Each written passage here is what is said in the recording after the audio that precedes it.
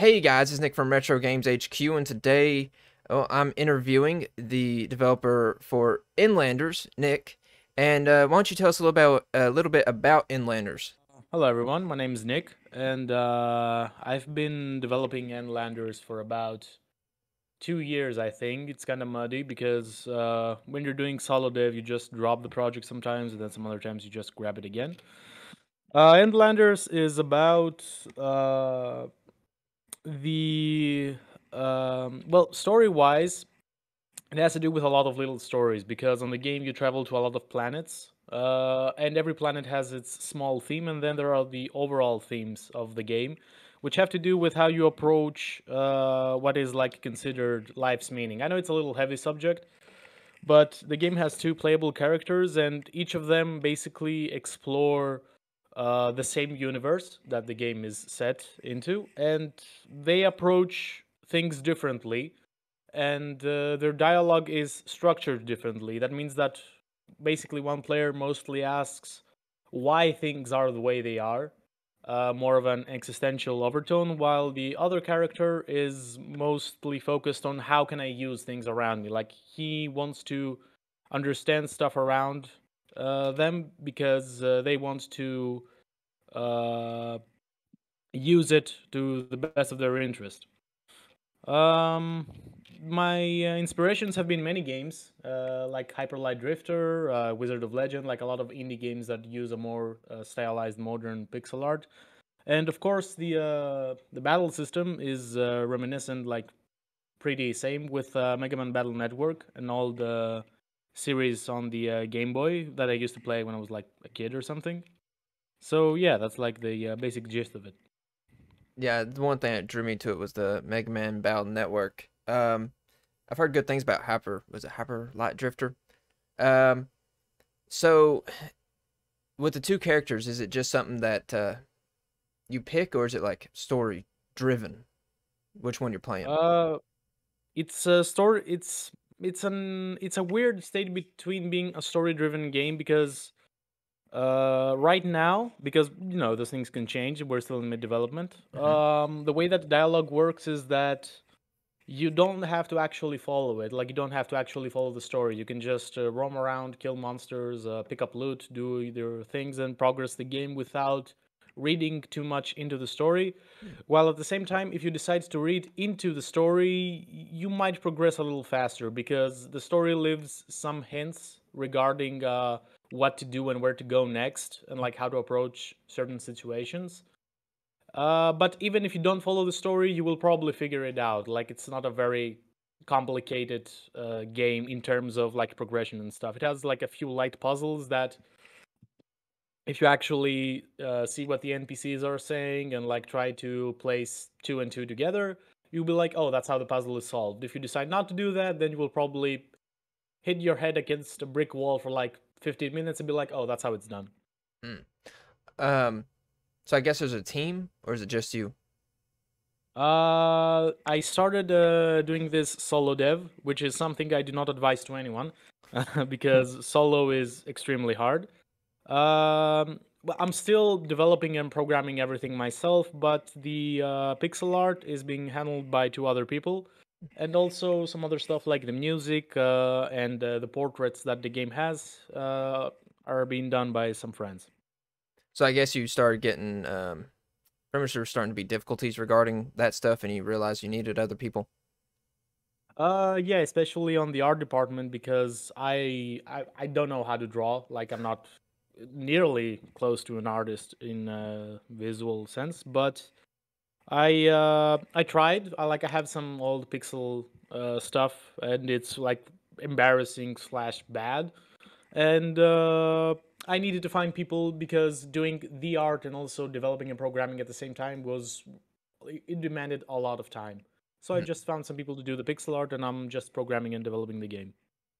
All right. Well, um, I guess that's why you're going to be doing a Kickstarter soon to fund things like that that you're outsourcing? Uh, well, uh, the way that uh, we currently work is uh, I we're doing a revenue share split. Uh, I am from Greece, and in case uh, people don't know uh, the stuff that's going on in Greece, uh, it's very bad, like economically speaking, and I can barely have like enough to live by myself. So it's not like I can pay people. Like we are very poor around here. So I needed to find people that were willing to do a revenue split, uh, like share all whatever income might come our way. I believe that's also more fair in terms of uh, working uh, on a project or anything. But also, I had no other option. It's not like I can uh, pay someone for their services or something like that. The Kickstarter is needed because this game is uh, is big. It's not like it will probably be around 25 hours of game time. And if you want to do all of the content, like the hidden stuff that I have put and all of that, it will probably be around 30 something. So it's a game that requires at least another year or maybe two of development Mhm. Uh, before it can be like on a good shape to be like you know a big game. Uh, that's the reason why we're doing a Kickstarter mostly because uh, we're trying to do something bigger. Uh, like I could probably have the game ready in like five to six months with a lot of debugging and some quality control, but it will have maybe two or three hours of content, and I really don't want that. Like I've spent so much time developing the story, the characters, the systems, how things are supposed to be going, the art style, the uh, sound effects. Like a lot of thought has gone into this project, and I was like, eh, I don't want to have like a small game or something. I want to go for something bigger. Right, which is understandable. You put so much time and effort into it, and you want something to show for it. I mean, and 30 hours total is pretty respect uh respectful, especially since you were doing it solo dev for a little while, you know. Yep. And uh no, I mean I understand. I never thought about the revenue share uh way before of it. But um actually one thing I wanted to ask, we get back to the Kickstarter thing, is the three by five grid. I that's one thing I just remembered. The game also, while it has Mega Man Battle Man, uh, Mega Man Battle Network system, it has a three by five grid, but it looks like the middle grid is neutral. Yeah, uh, the middle grid is accessible by both the enemies and the player. Uh, one thing that I didn't really like on the Mega Man Battle Network series is that uh, melee combat is a little bit, I don't know how to put it, not in a very good spot. Like, you have a very few. Like, it's hard to get close enough to do melee, and the game doesn't reward you enough for it. Like, you have all those high dealing uh, chip cards that do. So it's more of a ranged game. I like the melee aspect of Mega Man Battle Network, and this game has also some extra melee systems that have to do with me- melee attacks, uh, which I could explain, I guess, but it's like more detailed. Mhm. And uh, it's a neutral one where both enemies and players can step into. I have no mechanics that switch the battlefield in any way, like gain more space or lose space or something like that. I think that's like a very good balance of a 3x5. Uh, I've played a lot, I've debugged it and stuff like that, and it feels like you can also get really quickly for a melee attack that is rewarding, and then you have enough space to breathe and go back and maybe do your ranged attacks with a little more safety, I guess. Right, so you still have room to move around even though it's a smaller grid. It's a three by three basically, and uh, I mean, yeah, you might get blocked on uh, on one or two. Uh, uh, what's it called? Squares. Yeah. But it doesn't really restrict your movement. You still have a lot of room to dodge things. Okay. So, um, yeah, because that's one thing when I saw it, I was most most interested in was the fact that it was a three by five grid and it looked like the middle one could be taken up. But yeah, now I think about it, yeah, Mega Man Battle Network. I mean, you could hit melee attacks, but it definitely favored um, ranged attacks. Definitely, you know. Um, I never thought about that aspect of it. And usually the like melee chips were pretty good, you know. Uh, Yeah, they were hitting pretty heavy, but you didn't have like a lot of uh I don't know how to put it. It didn't give you much of an opportunity to use them. You had to be like they were very situational. yeah, you knew you pretty much had to know the enemy was going to be there, you know, Yeah. they were going to do that. Yeah, I know exactly what you mean. But, um, oh yeah, going back because I was thinking about I, that popped up in my head. But going back to Kickstarter, uh, I know on the Reddit post that you put up, on the Mega Man Battle Network subreddit, people were asking about um, multiplayer. Uh, so why don't you tell the pretty much the answer that you gave them? Uh, yeah. Uh, regarding multiplayer, um, I hadn't taken that in consideration when developing this because multiplayer and networking is a huge like branch of game development that I don't know much about. And uh, it's definitely not doable solo. Like I can't solo develop a multiplayer game because you need to set up servers, you need to do like a lot of stuff.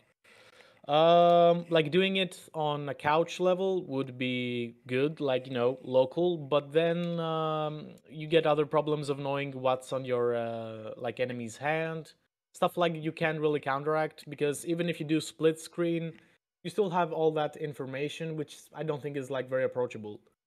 Uh, about online, I am I am willing to do it, and of course I would like to do it, but that's like on a Kickstarter level because from that money from Kickstarter, if we it's a stretch goal, not like the uh, founding goal.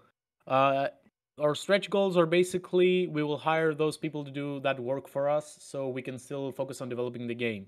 So every stretch goal is something that is out of our area of expertise that will allow us to put something else in the game, like multiplayer, uh, doing an art book, and some other stuff like that. Okay, so I guess you all have uh, a few stretch goals for it. But uh, is there anything else about the Kickstarter, or not the Kickstarter really? Because well, yeah, how far out is that? Because I think you said it was kind of soon, Um, or yeah, it's soonish, you know. Uh, it should be around uh April, I think, uh, March, April, somewhere towards there. Uh, before we launch a Kickstarter, we were going to launch a demo for people to be able to play the game, Mm. so they can make up their minds if they want to support us or not, which comes out in around one month, maybe a little more, depending on a few things.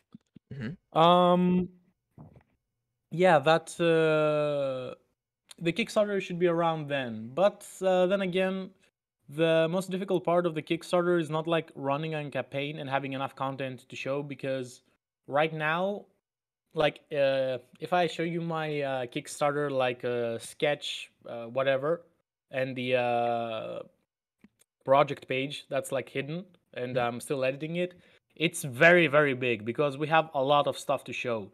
Uh, the problem that I encountered that I didn't know about because I'm like new to this field or whatever is that you have to advertise it a lot. Mhm. Like you have to uh, like build a huge audience before you go into Kickstarter, and I didn't know that. Um, I thought the site favored like new creations and stuff like that, or things that seem interesting, but most of the uh, people that have done Kickstarter that I've talked to said that you need to have a huge audience, and that's one of the reasons it's pushed back. Otherwise, it would be up like right now. right, yeah, I've seen um Kickstarters that fail that the the games look amazing. It's just that they didn't advertise enough. Uh, and that's Yeah, really what it is. You have to have an audience. And You have to advertise. And yeah, what happens is I think we see a few projects that just go from zero to, you know, two thousand percent funded, and they don't have a following. But that's not the norm, sadly, on Kickstarter. yeah. Um, is there um, so the game's more melee based. Uh, what else about the game? Because it's obviously like a, a passion for you. Like to do this, especially to start off trying to do it solo dev, you have to have a passion for it. You can't just feel kind of neutral about it. So, is there anything like unique takes that you are excited to show or have in the game uh, compared to other games or other games that were your inspiration? Um, one uh, uh, one of the combat mechanics is that instead of uh, pausing the game to draw cards, they are drawn for you every two seconds. So you're in the field, like you're in battle. You can't you, you can pause, of course, but it's like not uh, the optimal way, I guess. Hmm. And while playing, the cards are drawn, and you need to quickly think what you're gonna do. It adds a lot more, uh, I guess, it's a lot more tense because you're drawing your cards while playing, and at the same time, there are some other systems depending on the character that uh, reward you for playing the cards correctly. Because uh, every there are like two card types for each uh, character. and they work differently. One works with a combo based system where you use cards to build up combo points, and then you use a finisher attack to deal damage based on how much combo points you have. And the other character is more of a balancing scheme where some cards fill up your uh, th- this chem tank that they have. And uh, at the same time, if it goes too much or if it becomes empty, it might explode. Something else might happen. So you have to like keep a balance between not overdoing it with those type of cards and you know stuff like that.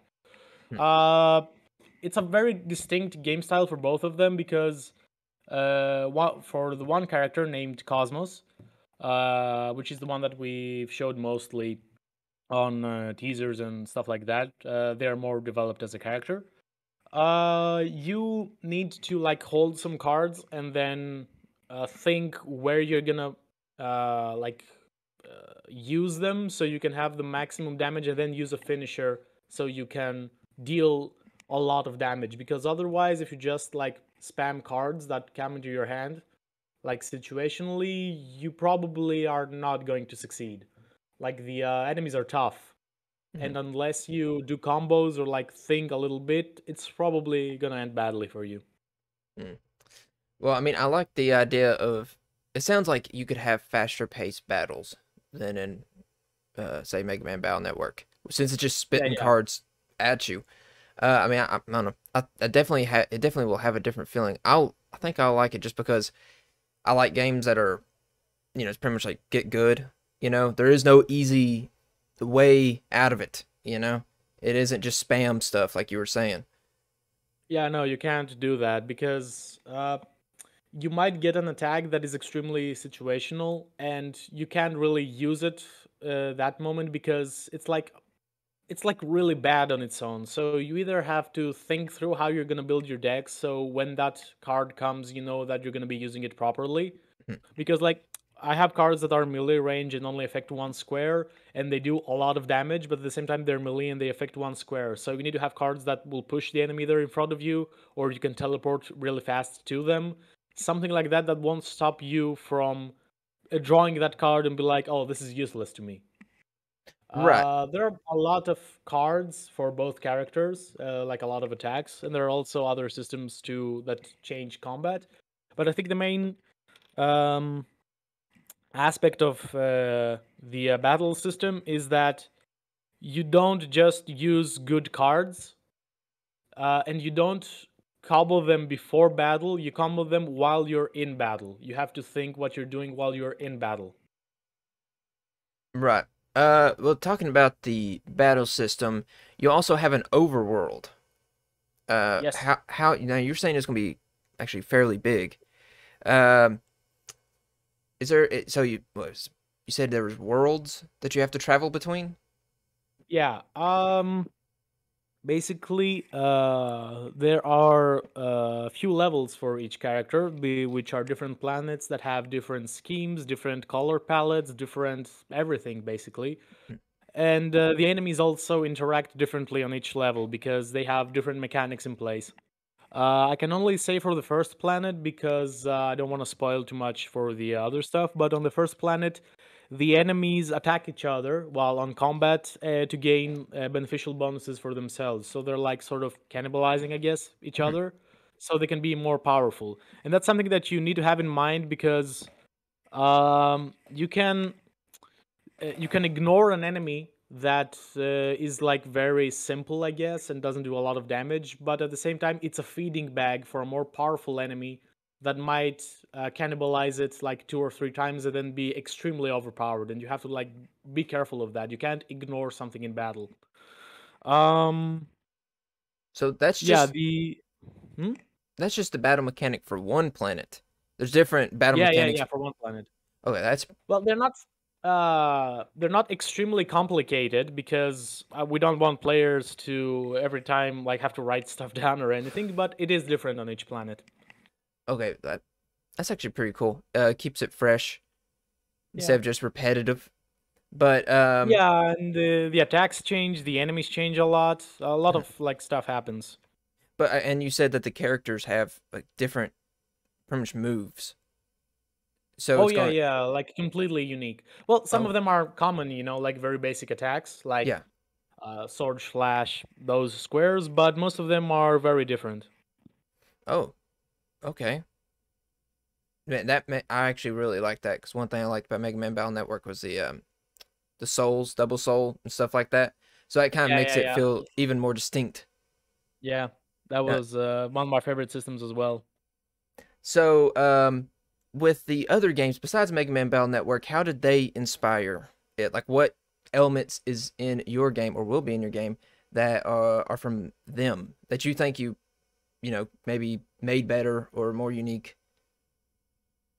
Um, well, to be honest, uh, I like in terms of combat, I'm not sure uh our game can be very very good uh because well at the same time it's a fast-paced combat and it has a few uh, new elements uh with game developing in general when you introduce new concepts sometimes they don't sit well with a player.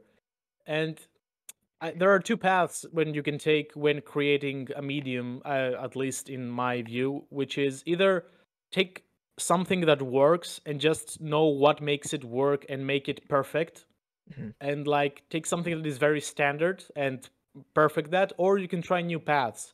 I've chosen to do the latter.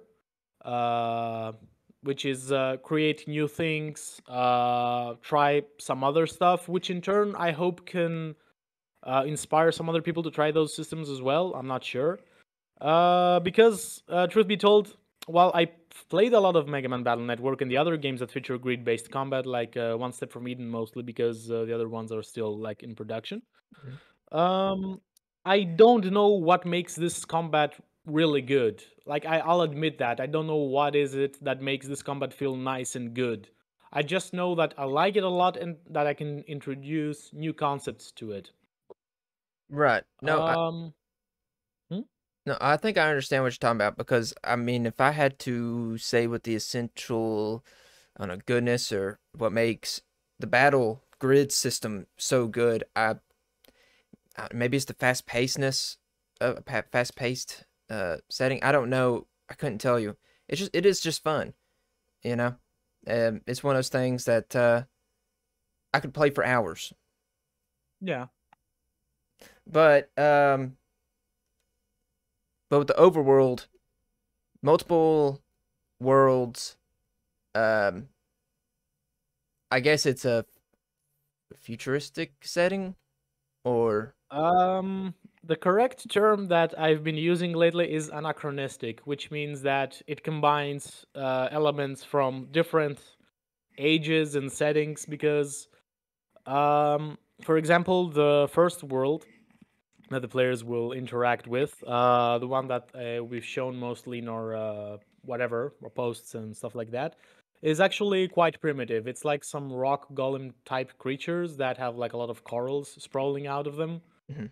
Uh, so you couldn't call that futuristic. You can call it alien, but not futuristic. And then some other worlds are very, very weird. Uh, for example, one of the worlds is um, an ice field, basically, that has uh, ar- sort of armored archangels that carry weapons, like uh, modern day weapons, like machine guns and bullets, grenades, stuff like that.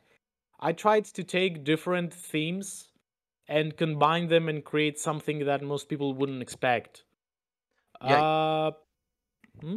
yeah, no, you would not expect like archangels with machine guns. That's definitely No, you don't. and it's like a little striking because you can create a lot of new visual language with that and a lot of like new uh interesting concepts. Um yeah, that that's what uh, I've tried doing mostly like with the art direction. I also have some other unique concepts that I don't really want to go into right now Mhm. because uh I don't want to like uh, spoil everything regarding the game because we have like some very very weird concepts in there about the other planets. But uh, yeah, I guess if people stay tuned, they will find out. right. Yeah, definitely don't spoil all that. But um, if you had to make a short like pitch for your game, like what what would do you think like the essentially would be the case for why people, especially people that love like Mega Man Battle Network and that grid system, bat, the grid, grid battle system, why do you think that they should at least check out your game or play the demo or uh, check out the Kickstarter when it comes up, which I will have linked in the description below. Uh, so if people want to go follow it. Um, well, I'm not really good at pitching stuff. I'll just say that right open. Um, I guess uh, you could say if uh, you want to play that grid system, but with new mechanics that not even mods from Mega Man Battle Network have introduced, then I guess you should try our game.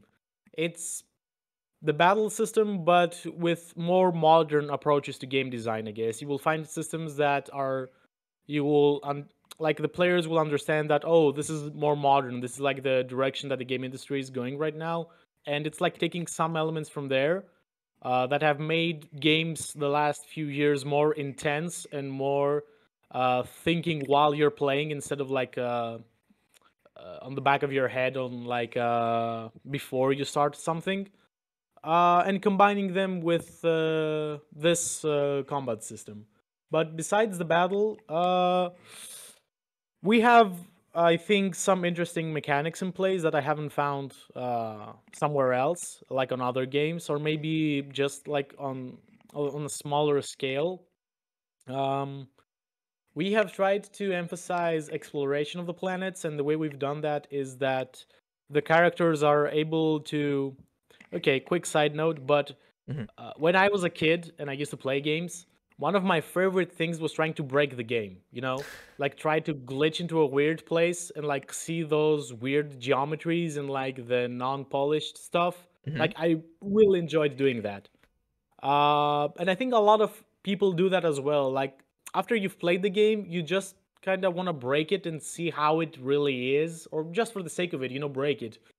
And i've taken that like both visual and uh, feeling of breaking the game and put it into the game.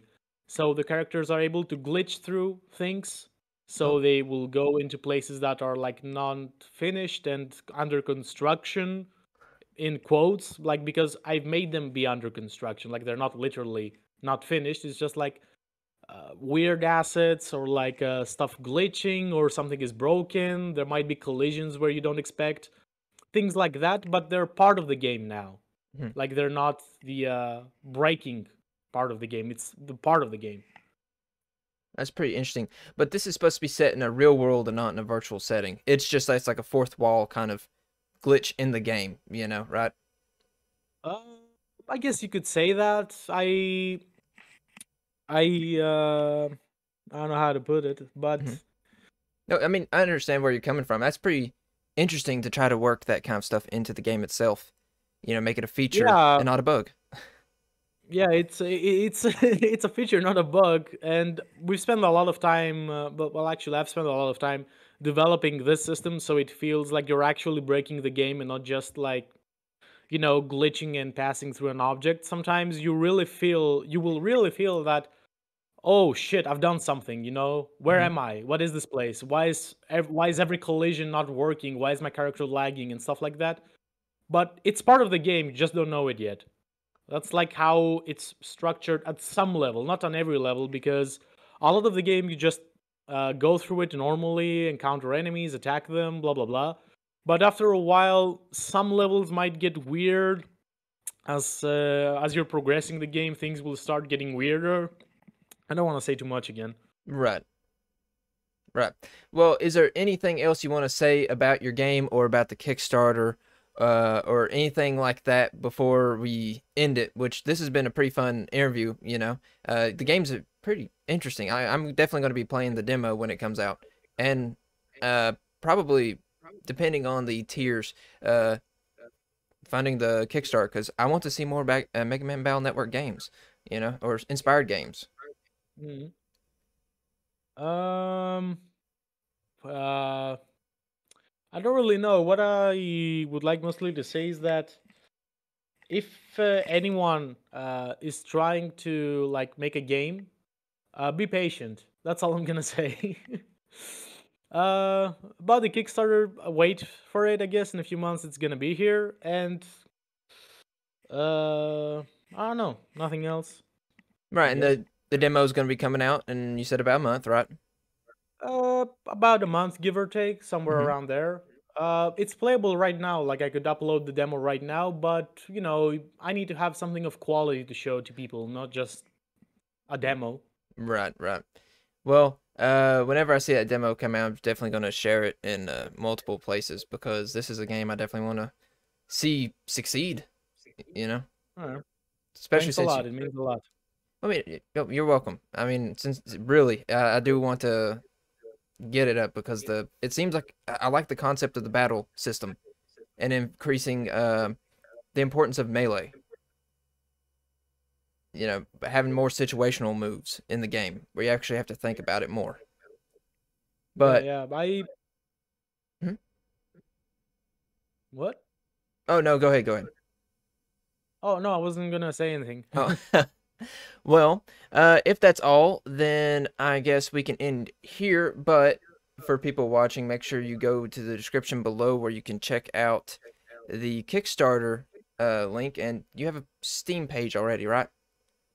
Uh, no, the Steam page is going to be up in a few days slash weeks because there have been some problems uh, with Steam for some reason. I'm not Mm. sure.